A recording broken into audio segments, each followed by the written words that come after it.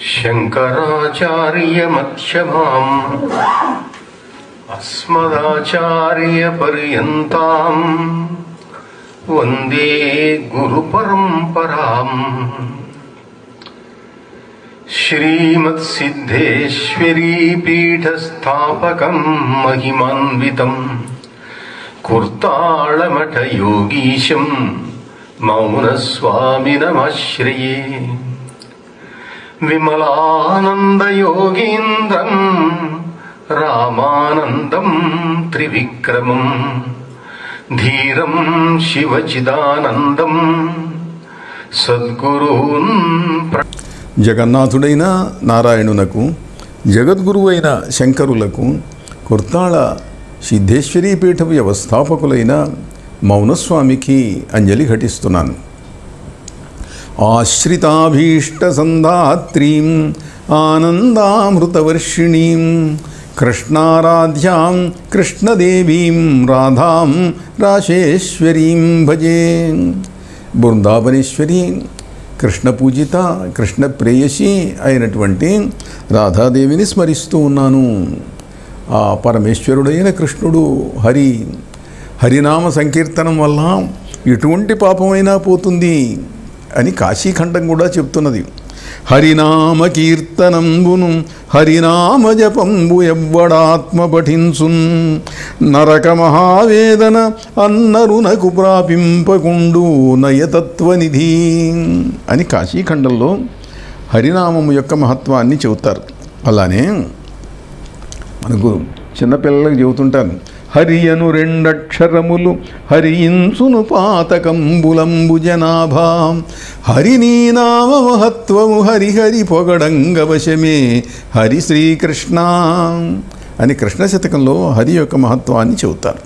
అలానే కాశీవల్లభుడు విశ్వనాథుడు శివుణ్ణి స్మరిస్తే బ్రహ్మణ్య దేవా సర్వముకుంద విశ్వేశ్వర సనాతన త్రినేత్ర. రావణారీ శ్రీకంఠ ధర్మధురీణ శంభువా కమలాధీశ ఈశానాం యదుపతి మృడాం ధరణీధర హర అంధకహర శారంగపాణి అలా శివుణ్ణి విష్ణుణ్ణి ఇద్దరిని కూడా స్మరిస్తూ ఉండేటట్టయితే సర్వపాపములు పోతాయి. భగవన్నామం శివుడన్నా విష్ణువన్నా ఇద్దరూ ఒకటే అని ఆ కాశీఖండం చెప్తున్నటువంటి ఈ దాంట్లో భాగంగా ఆ శివశర్మ అలా అలా అలా యమలోకాన్ని దాటి పైకి వెళ్తున్నాడు. పైకి వెళ్తుంటే ఇంకొంచెం దూరం పోయిన తర్వాత అప్సరోలోకం వచ్చిందిట. విద్యాధర అప్సరో యక్షరక్షో గంధర్వ కిన్నరాహ. అప్సరోలోకం అంటే అప్సరసలు ఉంటారు అక్కడ. రంభ ఉర్వశి మేనక వీళ్ళందరూ కూడా ఉంటారన్నమాట అక్కడ. ఏ ఇందు బింబస్యలు ఇక్షుకోదండుని త్రైలోక్య రాజ్యాధిదైవతంబులు ఏ ఇంతులకు పుట్టినిల్లు దుగ్ధాంబోధి మధుకైట భారాతి మడుగు పంపు ఈ చకోరాక్షుల కింద్ర చంద్ర జయంత నల్లకూబరాదులు ననుపు మిండలు. ఏ పువ్వు బోడుల ఇసిరింత చూపుల ఋషుల గట్గట్టి మనంబులు. ఈ గురు వెట్టు మహిత భక్తి భావల మనుమరాండ్ర దక్షిణానందవన్న మహాస్థానపతికి భీమనాథేశ్వరునకు సుత్రాముడిచ్చే అనగా వీరు సుమ్మయ్యా ఈ అప్సరసలు. కాశీఖండం గురించి చెబుతూ అప్సరసలుట తమ మనవరాళ్ళను దక్షారామంలో ఉన్న భీమేశ్వరుడికి ఇచ్చారట. కాశీ విశ్వనాథుడికి ఇవ్వలే. కాశీ విశ్వనాథుడికి అప్సరసలు ఇట్లాంటి వాళ్ళతో అవసరం లేదు ఆయన ఆయన విరాగి పరమేశ్వరుడు. దక్షారామ భీమేశ్వరుడు ఆయన దక్షబుధి సానికూతుల తవిలినాడు. విశ్వలోక కుటుంబీ భీమేశ్వరుండు. దక్షారామంలో ఉండేటువంటి వేశ్యల దగ్గరికి వెళ్తుంటాట భీమేశ్వరుడు కూడా. శ్రీనాథుడు చమత్కారంగా చెబుతాడు అనుకోండి ఎలా అయితే ఈ అప్సరలోకంలో ఎవరెవరు ఉంటారు అంటే ఒకటి ఉన్నది ఈ దివ్యలోకాలలో సహజంగా బ్రహ్మ సృష్టించి అక్కడ ఉండేటువంటి వాళ్ళు కొంతమంది ఉంటారు. అవి కాక మానవలోకంలో పుణ్యాలు చేసినటువంటి వాళ్ళు ఆ దివ్య భూమికలకు వెళ్తుంటారు. అప్సరలోకానికి ఎవరు వెళ్తారు? అప్సరసలుగా అని అంటే అరవై వేల మంది ఉన్నారట అక్కడ అప్సరసలు. బ్రహ్మచర్యం ఒక రాత్రి దైవికమున మరచి తప్పిన ఎట్టి మాచకమ్మ. కలకాలమెల్లను కామితం వ్రతములు సలిపినట్టి చకోర శాబనయన బలిమి ఒక్కనికి లోబడి వానిన వేళపతిగాదలంచిన పద్మగంధి. పురుషుండు లేని ఎప్పుడు ప్రమాదం ప్రమాదంబున మోసపోయిన ఎట్టి ముద్దరాలు. భోగదానం వ్రతంబుల పూని ఎప్పుడు మకరకేతను అర్చించు మాటినంగా. కన్నె వయసున్న కన్నరికంబుదప్పి పిత పిత పిదప పతిభక్త పతిభక్త అగు అగుణాతి త్రిదశ వేష్య అంటే చిన్నప్పుడు పొరపాటున ఎవరితో తోట పొర పొరపాటు చేస్తే ఆ తర్వాత పెళ్ళైన తర్వాత పతివ్రతగానే ఉన్నదనుకోండి కానీ చిన్నప్పుడు చేసిన ఆ పొరపాటు వల్ల ఆమె అప్సర లోకానికి వెళ్తుందిట. పుణ్యాత్ములైన వ్యక్తులైతే గౌరీ లోకానికి వెళ్తారు స్త్రీలు. కానీ ఇలా చిన్న చిన్న పొరపాట్లు చేసినటువంటి వాళ్ళు పొరపాటున భర్త లేనప్పుడు ఏదో మోసపోయినటువంటి వాళ్ళు బలవంతం చేయబడ్డ వాళ్ళు ఇట్లాంటి వాళ్ళను అప్సర లోకానికి పంపిస్తారట. పెద్ద తప్పులు లేకపోయినా ఏదో తప్పు కొంత జరిగింది కాబట్టి వాళ్ళను అక్కడికి పంపిస్తుంటారు. మిగతా మంచి పనులు పుణ్యాలు కనుక చేసేటట్లయితే మాంత్రికుండైన ఒక సిద్ధమౌని ఉండే ఒక్క వేలుపు నుండే ప్రియుండు పన్నుపా పుత్ర సంతాన లబ్ధికై పొందినట్టి లోలలోచనకు అప్సరో లోకమబ్బు పిల్లలు లేరు. పిల్లలు లేకపోతే పూర్వకాలంలో ఒక పద్ధతి ఉండేది. అదేమిటనంటే ఎవరైనా మహానుభావుడైనటువంటి యోగి మహర్షి తపస్సంపన్నుడు ఆయన దగ్గరికి వెళ్ళయ్యా మాకు పిల్లలు పుట్టడం లేదు. మా ఆవిడను ఒక ఒకరోజు నీ దగ్గర ఎట్టి పెట్టుకో ఆమెకు సంతానాన్ని ప్రసాదించు అని భర్త అప్పగించే ఆచారం ఉండేది. అట్లా గనక జరిగేటట్టయితే ఆమె తప్పేం లేదు. కానీ భర్త కానీ మరొకరి దగ్గర పడుకున్నది కాబట్టి ఆ సంతానం కలుగుతుంది ఆ సంతానం మంచివాళ్ళే. కానీ ఆమె మాత్రం అప్సరలోకానికి పంపిస్తారట పంపిన తర్వాత. ఇప్పుడు ధృతరాష్ట్రుడు పాండురాజు అట్లా పుట్టిన వాళ్ళేగా వ్యాసుడికి తల్లి సత్యవతీదేవి యొక్క ఆజ్ఞ వల్ల భర్తలు మరణించినటువంటి వాళ్ళు వాళ్ళకు సంతానం కలిగించాడు ఆయన. అంబిక అంబాలిక వాళ్ళకు సంతానం కలిగిస్తే ఆ సంతానమే ఒక ఒక స్త్రీకి ధృతరాష్ట్రుడు పుట్టాడు ఇంకో ఆమెకు పాండురాజు పుట్టాడు. అట్లా ఇట్లా సంతానానికి నియమించేటువంటి అఫీషియల్గా నియమించడం అన్నమాట. దాంట్లో రహస్యం ఇట్లాంటిది ఏం కాదు. చేస్తే ఆ స్త్రీలు అప్సరలోకానికి వెళ్తారట. అలా వెళ్ళినటువంటి వాళ్ళు అప్సరలోకంలో ఉంటారు.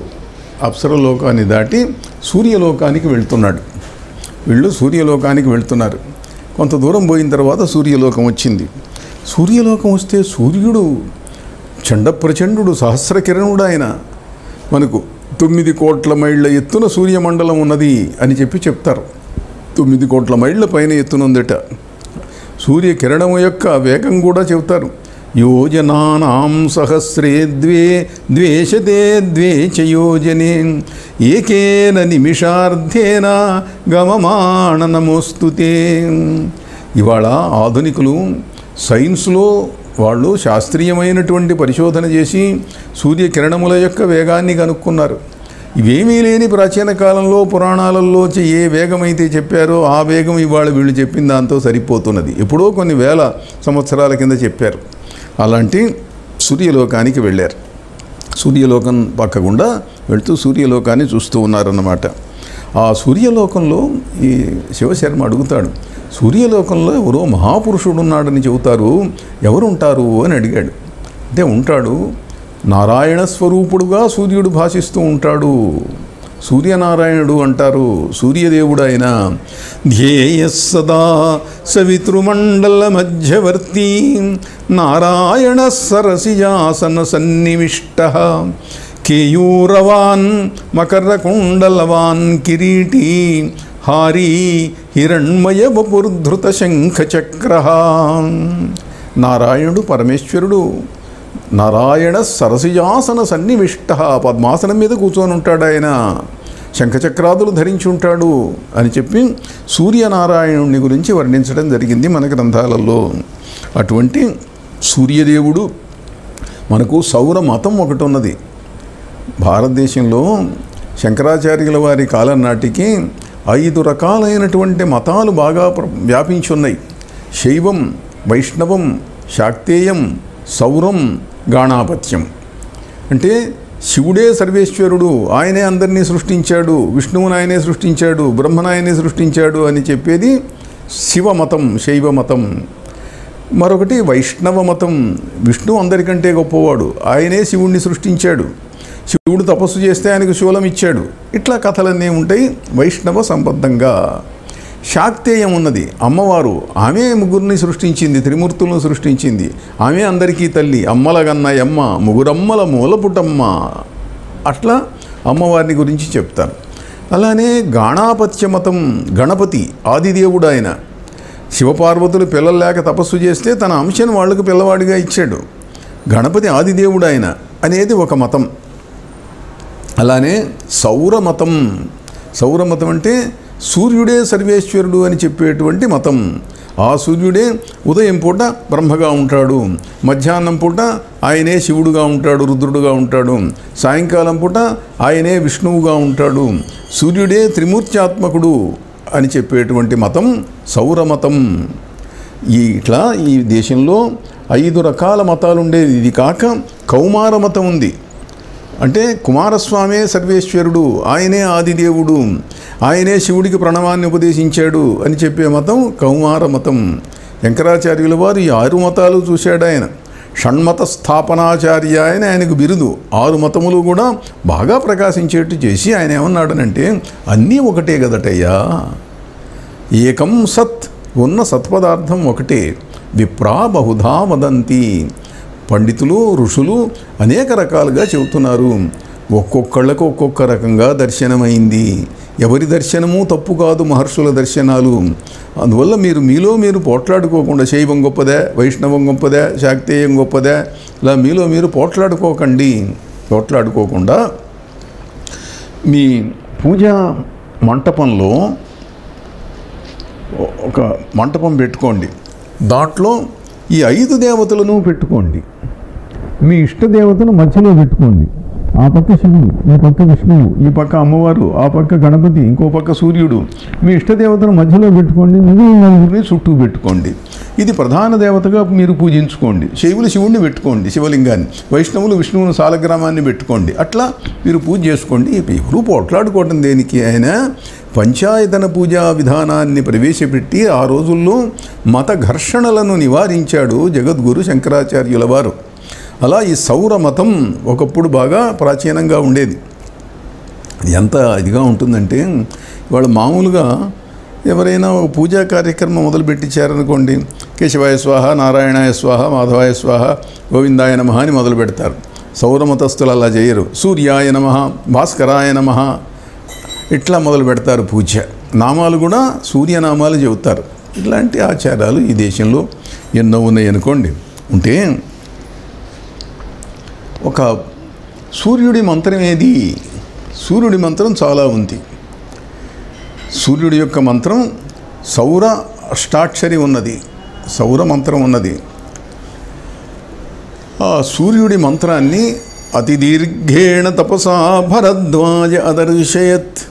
భరద్వాజుడు చాలా దీర్ఘమైన తపస్సు చేస్తే సౌర మంత్రం ఆయనకు సాక్ష సాక్షాత్కరించింది.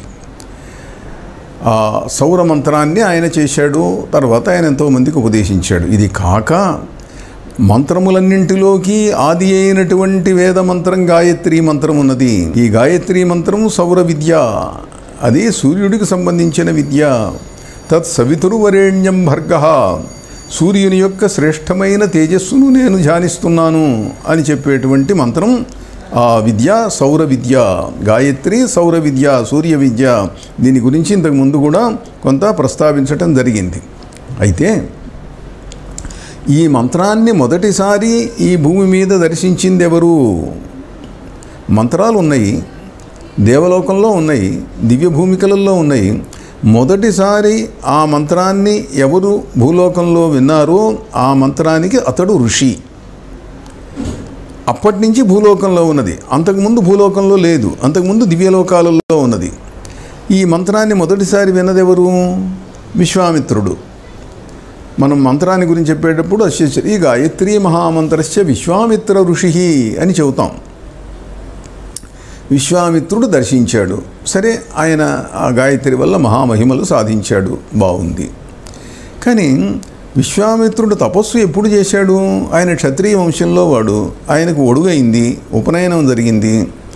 ఉపనయనం జరిగింది బ్రహ్మోపదేశం జరిగింది. ఉపనయనం అప్పుడు గాయత్రి మంత్రం చెబుతారు. అది అయిన తర్వాత అగ్నికి అధికారం వస్తుంది. హోమాలు చేయడానికి అధికారం వస్తుంది. ఆ తర్వాత ఆయన ఏదో పెళ్ళి చేసుకున్నాడు పిల్లలు కన్నాడు తపస్సు చేశాడు. మరి ఆయనకు ఒడుగైనప్పుడు ఏ గాయత్రి మంత్రం చెప్పారు? ఆయన తపస్సు చేస్తే గాయత్రీదేవి ఆయనకు ధ్యానంలో కనిపించి మంత్రం ఇచ్చింది. కానీ ఆయనకు ఒడుగైనప్పుడు మరి ఏదో ఇచ్చి ఉండాలిగా వాళ్ళ తండ్రి తండ్రి గాయత్రి మంత్రాన్ని ఉపదేశిస్తాడు. మరి ఏ గాయత్రి మంత్రాన్ని ఉపదేశించి ఉంటాడు? అంటే ఈ గాయత్రి మంత్రం కంటే ముందు ఇంకో గాయత్రి ఏదో ఉండి ఉండాలి.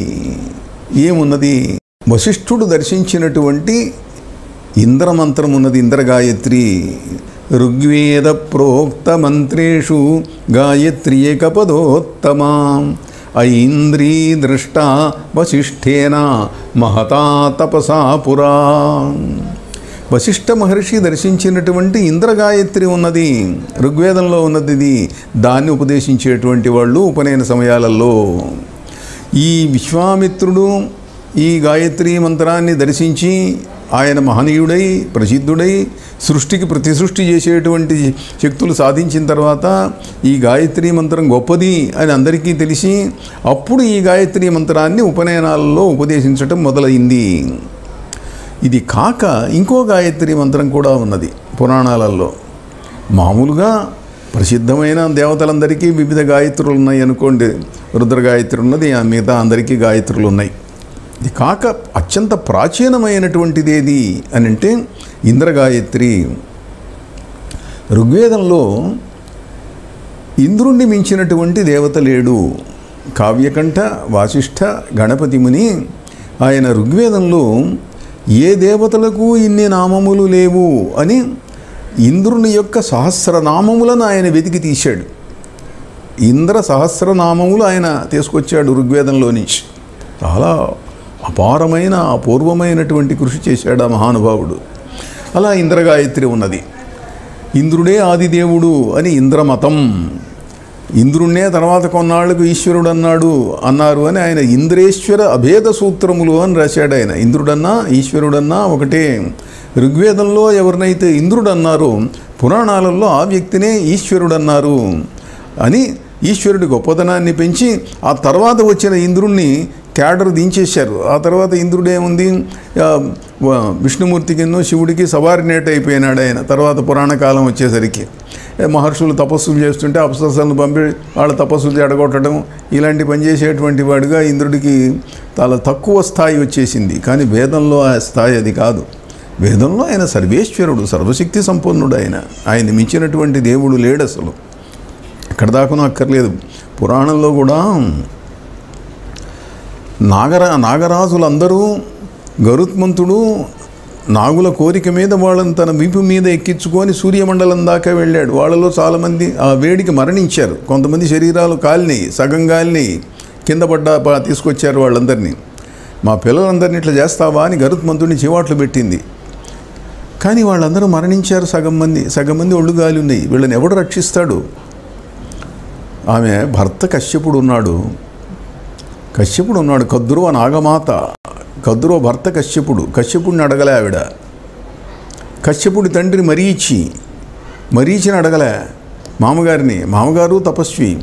మరీచి తండ్రి బ్రహ్మదేవుడు. బ్రహ్మదేవుడిని అడగలే. ఆ రోజుల్లో ప్రాణం ఇచ్చేది ఎవరు మరణించిన వాళ్ళని బతికిచ్చే దేవుడెవరు? వీళ్ళందరూ ఆమెకు బంధువులు. వీళ్ళని అడగలే. ఇంద్రుణ్ణి అడిగింది. నరసురసిద్ధ ಕಿಂ ಪುರುಷ ನಾಗನಭಶ್ಚರ ಮುಖ್ಯುಲೆಲ್ಲ ನೀ ಕರುಣಯ ವೇಚಿ ಮಂಡ್ರೂ ತ್ರಿಜಗಂಬುಲು ನೀ ಕುಲಿಶಾಭಿರಕ್ಷಣ ಸ್ಫುರಣನ ಜೇಶಿ ಸುಸ್ಥಿರತ ಬಂದು ಪುರಂದರ ಸರ್ವಲೋಕ ಸುಂದರ ಶರಣಂಬು ನಾಕಗುಮು ದಾನವಸೂದನ ಪಾಕಶಾಸನ ఇంద్రుణ్ణి ప్రార్థిస్తే ఆయన అమృతం కురిపించి వీళ్ళందరినీ కూడా బతికిచ్చాట. ఆ రోజుల్లో ఇంద్రుణ్ణి అలా ప్రధానంగా చూసేటువంటి వాళ్ళు ఇంద్రగాయత్రి ఉపనయనాలలో ఉపదేశించేవాళ్ళు. ఇది కాక భాగవతంలో ఇంకో గాయత్రి కూడా ప్రాచీన గాయత్రిగా చెప్పబడింది. అదేమిటంటే దితిదేవి వచ్చింది. కశ్యపుడికి ఇద్దరు భార్యలు ఉన్నారు. అదితి దితి. అదితికి పుట్టిన వాళ్ళందరూ దేవతలు ఆదిత్యులు. దితికి పుట్టిన వాళ్ళందరూ దైత్యులు రాక్షసులు. వీళ్ళల్లో వీళ్ళు పోట్లాడుకుంటుంటారు కొంతకాలం రాక్షసులు గెలుస్తుంటారు కొంతకాలం దేవతలు గెలుస్తుంటారు. దేవాసుర యుద్ధాలు ఎప్పుడు మనకు తెలిసి తెలిసినటువంటివే పురాణాలలో ఒకసారి దేవతలు బాగా విజృంభించి పరిపాలిస్తున్నారు. దితిదేవికి చాలా బాధ కలిగింది. భర్త దగ్గరికి వెళ్ళింది స్వామి నువ్వు మహానుభావుడివి సర్వసముడివి అందరూ సమానమే నీకు. వీళ్ళు నీ బిడ్డలే వాళ్ళు నీ బిడ్డలే. మా బిడ్డలకి వాళ్ళ రాజ్యం లేదు రాక్షసులకు దేవతలు ఏదో ఇంత పడేస్తే తినేటువంటి దిక్కులేని స్థితి వచ్చింది మా రాక్షస జాతికి అంతటికి వీళ్ళంతా నీ బిడ్డలే కదా. నా వల్ల నా ఎందు పుట్టిన బిడ్డలు వీళ్ళను కరుణించాల నువ్వు అంటే ఏం చేయమంటావు అన్నాడు. దేవతలను జయించగలిగినటువంటి మహాపరాక్రమ సంపన్నుడైనటువంటి సంతానం కావాలి నాకు అన్నది. అంటే ఆయన అన్నాడు నేను నీకు ఒక వ్రతం చెబుతాను ఒక మంత్రం చెబుతాను ఒక సంవత్సరం పాటు జపం చేయి. సంవత్సరం పాటు జపం చేస్తే అప్పుడు నీకు కోరిన సంతానం సద్గుణవంతుడు పరాక్రమవంతుడు వస్తాడు అన్నది అన్నాడు ఆయన. నేను సంవత్సరం ఆగలేనండి నాకు అర్జెంటుగా సంతానం కలగాలి. నేను కోరిన గుణాలు కలిగిన వాడు కలగాలి. అని భర్తను మొహమాట పెట్టింది. పాపం ఆయన కాదనలేక ఆమెతో క్రీడించాడు ఆ క్రీడించిన సమయం ఆమెకు గర్భాన్ని ఇచ్చినటువంటి సమయం సాయంకాలం పూట. సాయంకాలం పూట శృంగారం చేయకూడదు. దాన్ని అసుర సంధ్య అని అంటారు. రాక్షసులు తిరిగేటువంటి సమయం అసురులు తిరిగేటువంటి సమయం ఆ సమయంలో శృంగారం చేయకూడదు. కానీ భార్య మాట కాదనలేక చేశాడు కశ్యప మహర్షి. అప్పుడు పుట్టినటువంటి వాళ్ళే హిరణ్యాక్ష హిరణ్యకశిపులు సరే అది పురాణ కథ అంతవరకు ఉన్నది. కానీ భాగవతంలో మరొక్క మాట ఉన్నది. ఆ అసుర సంధ్యా సమయ సంగమ దోషంబువోవా కశ్యపుండు బ్రహ్మగాయత్రంబు జపించే. అసుర సంధ్యా సమయంలో భార్యతో సంగమించినటువంటి పాపం పోవటానికి దోషం పోవటానికి ఆయన బ్రహ్మగాయత్రిని చేశాడు అని ఉన్నది అంటే అప్పటికి కశ్యపుడి నాటికి బ్రహ్మగాయత్రి ఉండేది అని అర్థం. విశ్వామిత్రుడు ఎప్పుడో తర్వాత కొన్ని వేల సంవత్సరాల తర్వాత వచ్చినవాడు. కనుక బ్రహ్మగాయత్రి ఉండేది. ఇట్లా ఇంద్రగాయత్రి బ్రహ్మగాయత్రి ఇవి అత్యంత ప్రాచీనమైనటువంటి గాయత్రి మంత్రాలు. వీటి తర్వాత ఈ సూర్య గాయత్రి సౌర గాయత్రి వచ్చి దాన్ని రిప్లేస్ చేసింది. ఇవాళ ఉపనయన సమయాలలో సూర్య గాయత్రి సౌర గాయత్రిని చేస్తున్నారు. ఈ మంత్రం అత్యంత శక్తివంతమైనది ఆ సూర్యదేవుడి యొక్క అనుగ్రహం వల్ల మనం సావిత్రి సత్యవంతుల కథ అందరికీ తెలుసు.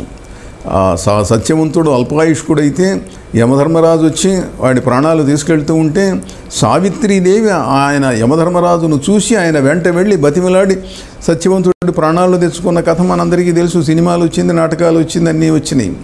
యమధర్మరాజును ఎట్లా చూడగలిగింది ఆవిడ? అందరికీ యమధర్మరాజు కనిపిస్తాడా? ప్రాణాలు పోతూ దాక్కెళ్తూ ఉంటే మామూలుగా యమధర్మరాజు వస్తాడో అందరి దగ్గరికి? కానిస్టేబుల్స్ని పంపిస్తాడు. చిన్న చిన్న వాళ్ళ దగ్గరికి చిన్న చిన్న వాళ్ళు వస్తారు. ఇదేదో ప్రత్యేకమైన స్పెషల్ కేసు కాబట్టి ఆయనే వచ్చి లాక్కెళ్ళాడు. పాశాన్ని వేసి ప్రాణాన్ని లాక్కెళ్ళాడు. కానీ ఈమె చూడగలిగింది. ఎలా చూడగలిగింది? ఆమె చిన్నప్పటి నుంచి గాయత్రి మంత్రాన్ని చేసింది కనుక గాయత్రి మంత్ర యజ్ఞం చేయటం వల్ల వాళ్ళ నాయన అశ్వపతి మహారాజు గాయత్రి యజ్ఞం చేస్తే ఈమె పుట్టింది. ఆమె చిన్నప్పటి నుంచి చేసినందువల్ల ఆమెకు యాస్ట్రల్ విజన్ డెవలప్ అయింది.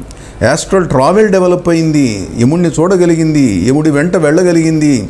బతిమలాడి భర్త ప్రాణాలు తెచ్చుకోగలిగింది గాయత్రి శక్తి వల్ల. అటువంటి సౌరశక్తి ఉండేటువంటి ఆ సూర్య మండలాన్ని శివశర్మ చూసి అలా అలా ముందుకు వెళుతున్నాడు. తర్వాతి కథ చూద్దాము. స్వస్తి.